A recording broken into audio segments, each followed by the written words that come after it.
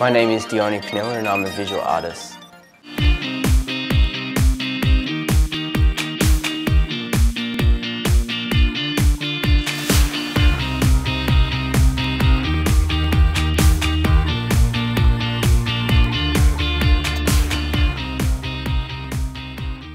Tonight I will be showcasing um, some artwork that I have been producing over the last year. So I'll be doing um, showcasing artwork which are mainly street art type stencil, bright colour artworks. Um, kind of a, bit provoke, like provocative towards the subject matter.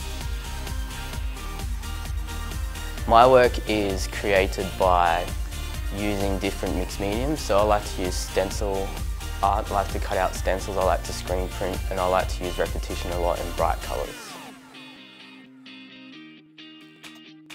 I am interested in the kind of artwork that I do because of the mixed medium aspect and also the fact that I can do digital artworks. Um, I can also do drawings and paintings so I can use them all and make them interactive.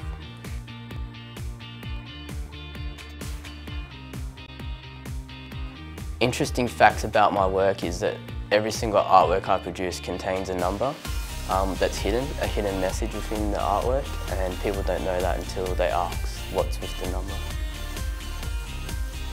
In the next five years my artworks and my actual self will be doing more things to do with corporation and type labels, um, working with MTV, Mambo and clothing labels to produce artworks for kids.